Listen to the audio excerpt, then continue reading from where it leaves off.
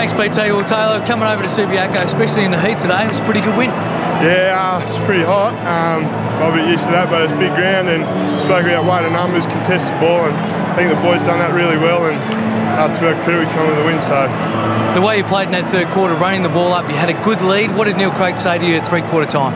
three quarter time, oh, we just had to get inside, get the footy, and just get it going our way. So yeah, pretty happy. And yourself, three goals today, a couple of misses, which is a little bit unlike you. I know that for a fact, but uh, you must be settled in nicely now at the forward line.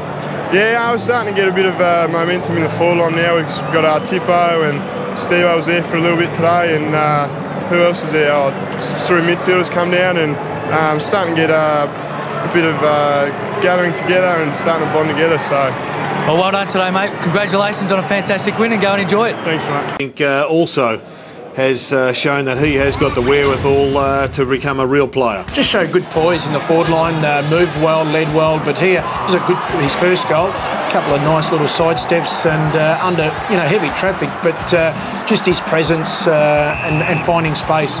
We heard uh, Rowan uh, Smith talk about what type of a player he is, and uh, just seems to show good poise for a young player.